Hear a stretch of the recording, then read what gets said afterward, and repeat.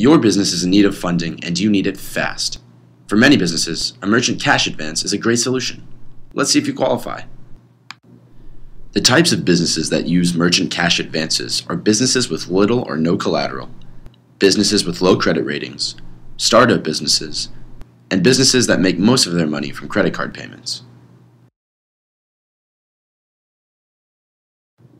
To gain approval from a funder, you're going to have to present them your driver's license, avoided business check, your business tax returns, some bank statements, credit card processing statements if applicable, and your credit score.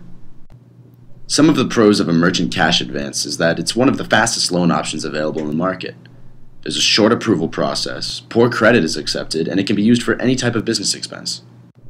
The repayment time for a merchant cash advance is flexible. It can range anywhere from 4 to 20 months, depending on what type of business you have.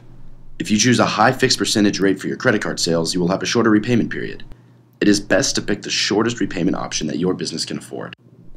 An MCA is a great option for businesses that have varying amounts of monthly sales.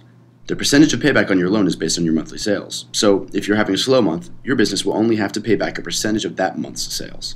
This way, your business will never be thrown into debt with a hefty dollar amount payment.